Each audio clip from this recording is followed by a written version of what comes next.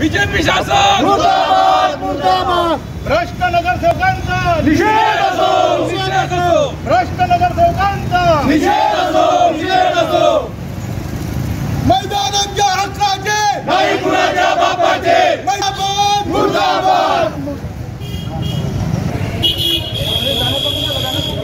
BJP शासन BJP शासन मैदान आमच्या हक्काचे नाही कुणाच्या बापाचे मैदान शासन बीजेपी शासन आमच्या मैदान आम्हाला वापस द्या वापस द्या वापस द्या मैदान आम्हाला वापस द्या वापस द्या वापस द्या मैदान आमच्या हक्काचे नाही कुणाच्या बापाचे मैदान आमच्या हक्काचे नाही कुणाच्या बापाचे बीजेपी सरकार मुर्दाबाद मुर्दाबाद मुर्दाबाद बीजेपी सरकार मुर्दाबाद मुर्दाबाद मुर्दाबाद आमचे मैदान आम्हाला वापस द्या वापस द्या वापस द्या मैदान कुणाच्या बापाचे बीजेपी नगरसेवकांचा मॅडमच्या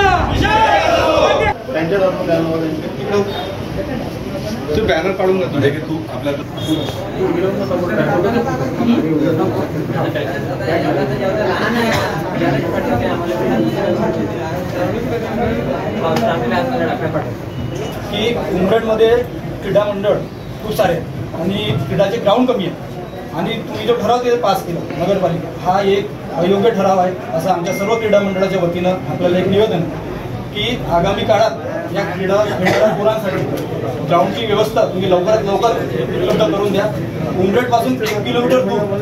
जिथं हे आहे बिपेट कॉलेज. त्या ठिकाणी लहान लहान पोरं खेळायला जातात. लहान लहान पोरं पोलीस भरती प्रॅक्टिस करतात. आणि अशा परिस्थितीत उमरेडमध्ये जर तुम्ही ठराव पास करून क्रीडांगणाचे ठराव कॅन्सल करत आहात मग या लहान लहान पोरांनी खेळायला कुठं जायचं? घेऊन बीजेपी सरकारची बीजेपी गव्हर्नमेंट या ठिकाणी.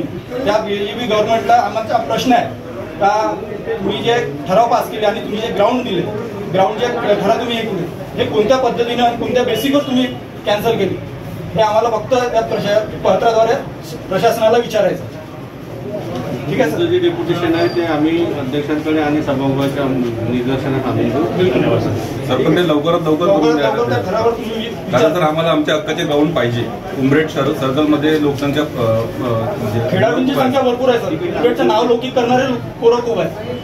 ग्राउंड नाही बीजेपी सरकारला म्हणजे हे आहे का पहिला ग्राउंडची व्यवस्था करून द्या. प्रत्येक ठिकाणी प्रत्येक एरियामध्ये ग्राउंड झाले पाहिजे. बीजेपी सरकार आणि नगर परिषद दोनही यांना आमची विनंती आहे. आणि सर ग्राउंडच्या व्यवस्था करा हे काय म्हणजे सरकारने नगर परिषद बीजेपी प्रशासनच नगर परिषद ना सरकारी दवाखाना पहिलं सर सरकारी दवाखान्याच्या बी प्र- हे करा, पहिले हे करा. युवक काँग्रेस आणि उमरेडच्या संपूर्ण क्रीडा मंडळातर्फे आम्ही लोकांनी नगरपालिकेला जो अवैध ठराव जो मांडलेला आहे त्याच्या विरोधात निवेदन दिलं आहे ठरावाचा प्रकार असा की डी पी प्लॅनमध्ये असलेल्या क्रीडा मैदान आणि वाचनालयाला नगरपालिके प्रशासनाने रातोरात बोलवून ते ठराव मांडून त्यांना सोडवण्याची किंवा तिथे प्र तिथे कमर्शियल बिल्डिंग आणि रेसिडेन्शियल बिल्डिंग बांधायची परवानगी दिलेली आहे.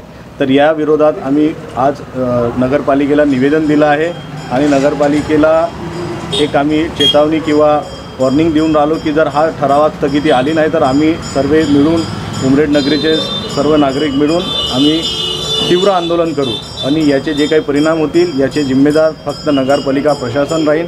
आज सतरा नगरसेवकांनी त्याच्या विरोधात पहिले निवेदन दिलं. त्यातले काही फितूर झालेत आणि रातोरात त्यांना काय काय झालं कुठले पैशाचे व्यवहार झाले काय म- ते देव जाणे. आणि त्यांनी ते दुसऱ्या दिवशी त्यांनी त्या समर्थनात त्या ठरावास सह्या केल्या. तर अशा या भ्रष्ट नगरसेवकांचा आम्ही तीव्र निषेध करतो आणि येणाऱ्या पिढीसाठी आम्ही रस्त्यावर उतरायला मागे पुढे पाहणार नाही ही हीच आम्ही सांगू इच्छितो. धन्यवाद. नगरपालिकेने त्या दिवशी जो क्रीडाबद्दलचा ठराव नगरपालिकेने त्या दिवशी क्रीडाबद्दलचा ठराव जो नगरपालिकेत घेतला होता. त्याबद्दलचा आज आम्ही युवक काँग्रेस व काही क्रीडा मंडळांनी याच्याबद्दलचा निषेध करण्यासाठी नगरपालिकेला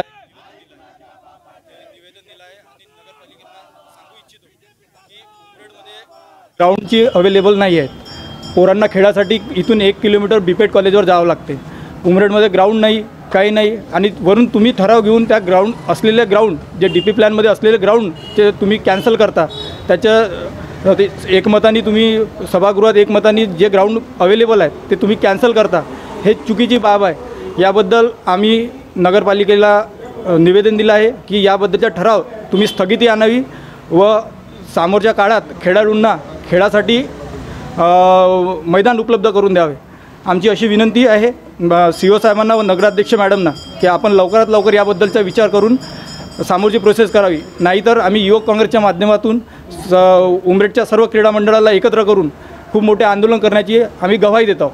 नगर परिषदकडे काही दुसरे मैदान आहेत का आता सध्या अवेलेबल उमरेड शहरामध्ये? त्या दिवशी आम्ही तुमच्याच चॅनलवरून ऐकलं की उमरेडमध्ये न शिव तुम्ही जे नगराध्यक्ष मॅडमना विचारणा केली की ग्राउंड अवेलेबल आहे का? किंवा ग्राउंडची तुम्ही तयारी करून द्याल का? तर मॅडमनेच विचार केला की पाहू आम्ही विचार करू.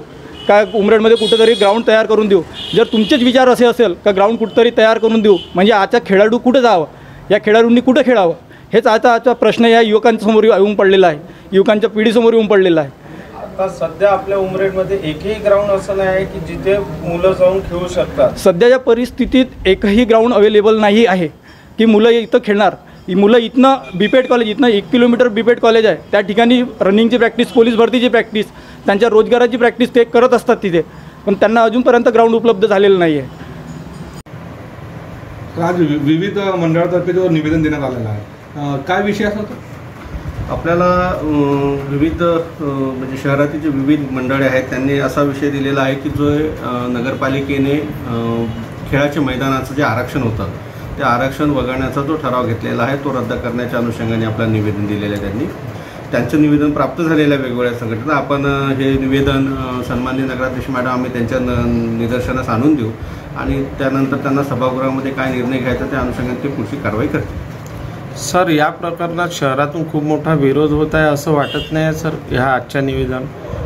मग आता बघा कुठलाही विषय असला तर त्याला दोन बाजू राहतात. मला माझ्याकडे काही मंडळाची लोक आलेले आहेत. निवेदन आपण घेतलेलं आहे. जो काही निवेदन आलेलं आहे आपण सभागृहाला त्या अनुषंगाने अवगत करूया. जर समजा विरोध असेल सभागृह लोकांच्या भावना आहे त्याचा विचार करेल आणि त्यानुसार तो निर्णय घेतील. सर आम्हालाही असं वाटते की तो खरंच उमरेड शहरामध्ये एकही ग्राउंड असं नाही आहे की ज्यामध्ये मुलं खरंच खेळू शकतात. उमरेड हे क्रीडा नगरी म्हणून एका काळापासून ओळखलं जातं. असा ठराव घेणे हा योग्य नाही असं आम्हालाही पत्रकार म्हणून वाटतं आहे तुम्हाला काय वाटतं सर? नाही तुमचं बरोबर आहे म्हणणं की जर खेळाचं मैदान ते असेल तर ते विकसित व्हायला पाहिजे. परंतु दुसरी बाजू अशी आहे की जसं एम आर टी पी ॲक्टनुसार आपण शहराचा विकास आराखडा तयार करतो. असा विकास आराखडा तयार केल्यानंतर तो साधारणतः त्या शहरात वीस वर्षापर्यंत तो अंमलबजावणीला असतो. आता आपण दोन हजार तीनपासून हा घेतलेला विकास आराखडा आहे आणि इतके दिवसामध्ये आपण ती ॲक्वायर करायची कारवाई करायला पाहिजे होती जी झाली नाही. दुसरा याच्यामध्ये प्रॉब्लेम असा असतो की हे क्षेत्र मोठे आहेत यांचं रेजिडेक्शन रेट जास्त आहेत आणि नगरपालिकेला शासनाकडून जमीन विकत घेण्यासाठी असा कुठलाही निधी मिळत नाही. त्यामुळे उमरीडच काय तुम्ही कुठल्याही शहरामध्ये जर गेलं तर हे आरक्षण जे आहे या आरक्षण डेव्हलप होण्याचं प्रमाण हे खूप झालं दहा टक्के आहे. त्याच्यावर होत नाही आहे त्याला कारणच असं आहे की यासाठी शासन निधी देत नाही. पूर्वी यू डी सिक्स नावाची एक योजना होती त्यामध्ये आम्हाला असे हे विकत घ्यायला परवानगी मिळायची परंतु आज अलीकडच्या काळात यू डी सिक्स अंतर्गत पैसे पण मिळत नाही आणि डी पी डी सीला तरतूद पण होत नाही. आणि म्हणून होत हे विकास घेतल्या जात- जात नाही.